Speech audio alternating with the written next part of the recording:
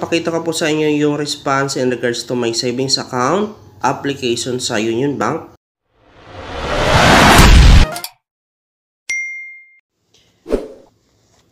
Next is that financial information. Lalagay po natin dito yung ating source of income. Kung ano yung hinihinging details dito, ilalagay po natin yung accurate para 100% madali po tayo ma-approvean. Kung anong industry and type ng trabaho natin and ID type na ilalagay natin dito. And indicate po natin yung ID type at saka ID number and address ng pinapasukan. Fill out ko muna kapag once okay na, tatap ko na lang si next.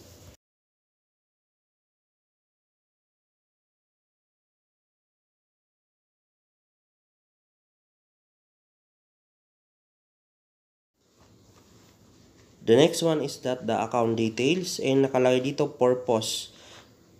Meron tayong mga option or pagpipilian.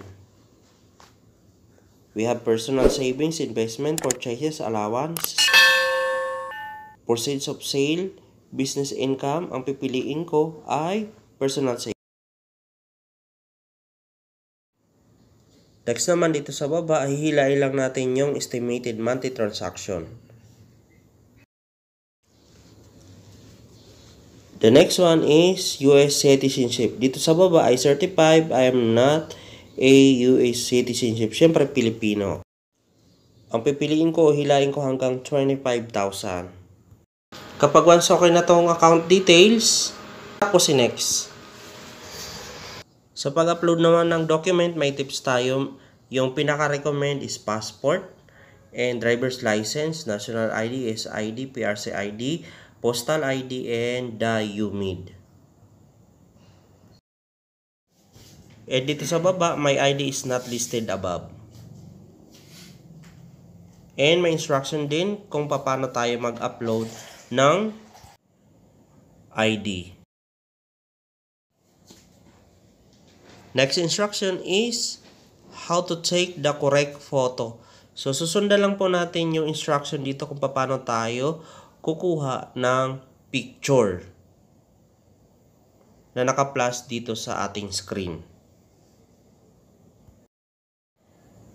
If you understand the instruction, meron dito sa baba, tap lang po natin cigarette. Verify your identity, allow camera access. Tap lang po natin si allow para mag-take po tayo ng ating i-upload na photo. Be sure kapag once nagtitake tayo ng ID natin or any type of ID dapat nakalapat po siya sa rectangular. Ay mali. Hindi malapat ha, nanginginig yung kamay ko. Yan yung instruction na susundan natin. Position the front of your document in the frame dapat nakalapat talaga siya sa frame. Nanginginig yung kamay ko sa pag-ano. Box na yan. Submit. If okay na.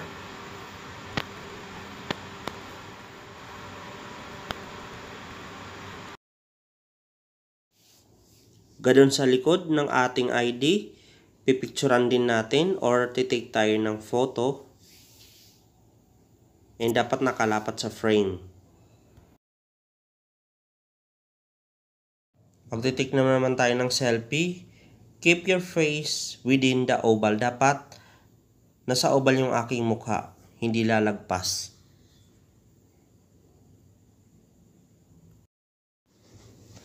Kapag nakapag-take na tayo ng selfie, tap si upload.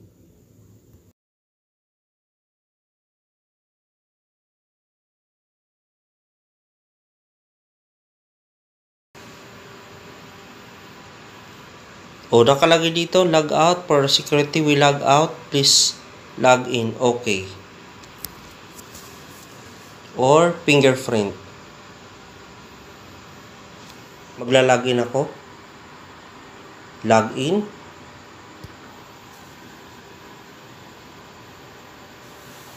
And antay natin yung ano, security code. or on-time password. Dito naman ay gagawa tayo ng specimen or signature na tatlo.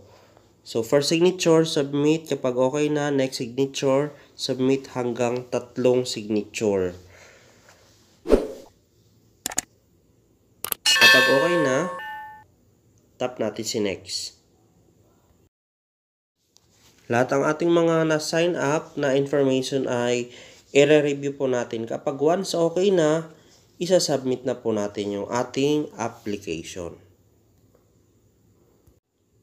Then makikita nyo po yung iyong signature na ginawa yung specimen na tatlo. Meron ka ng signature dito digitally.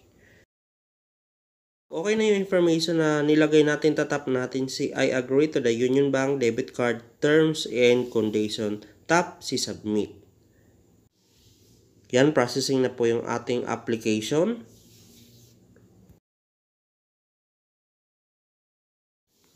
Congratulations, your application to account opening has been successfully submitted.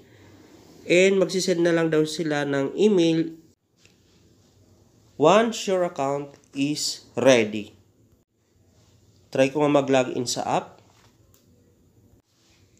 And wait ko muna yung OTP code bago ako mag-login. For this video, ipapakita ko po sa inyo yung response in regards to my savings account application sa Union Bank. Notice on your account activation. Tap ko. So, ito yung message sa akin ni Union Bank. Hi Arnel, we are unable to activate your account at this time due to photo you have submitted. We recommend taking your selfie in a well-lit room and wearing a dark shirt so we can easily match this with your ID. Kindly apply again and submit the correct details together with your ID. So, medyo mahigpit nga lang kapag once na mag-submit tayo ng photo which is hindi kasi masyado maliwanag. Please do not reply to this message. This is the system generated email sent to my email address. Thank you for using Union Bank Online. Mga ganitong application, syempre wala namang initial deposit. Uh, mahigpit din talaga sila when it comes sa mga details na binibigay natin and at the same time sa ID. Dahil nga, nung nag-apply ako ay gabi, uh, hindi masyado makita or malabo ang aking picture. Hanggang dito na lang muna. Hoping na nakapagbigay ako ng information and regards. Thank you for watching. This is Arno Chao. Like on this, do it thumbs up, like and share. Kung hindi ka pa napag-subscribe sa aking channel, click the subscribe button, hit the bell para updated kayo sa mga ina-upload kong video. And see ya on my next video. Thanks for watching. This is Arno Chao. Don't forget to subscribe my channel for more updates.